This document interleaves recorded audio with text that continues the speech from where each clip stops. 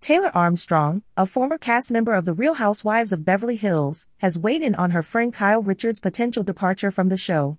While Richards, 55, has been hesitant about returning for season 14, Armstrong, 52, believes she will ultimately stay on. I just can't envision the show without Kyle, Armstrong said in an exclusive interview with Us Weekly at the Beverly Hills Rejuvenation Center grand opening in West Hollywood. However, Armstrong also thinks that taking a break from the show could be beneficial for Richards, who has been dealing with a lot of personal struggles, including her recent separation from husband Mauricio Umansky. Kyle has been under a lot of pressure, and the show can be overwhelming at times, Armstrong explained. Stepping away for a year might give her the opportunity to focus on her happiness and relationships without the added stress of the show.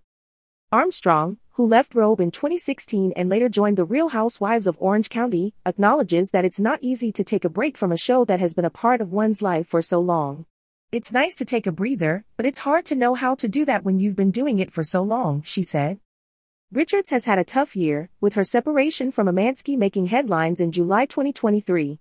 The couple, who have four daughters together, has not yet filed for divorce. Armstrong, who has remained close to Richards, wishes her friend could have a break from the constant questions and scrutiny that comes with being on the show. I just wish she could have some space to process her emotions and feelings without being constantly asked about it, Armstrong said.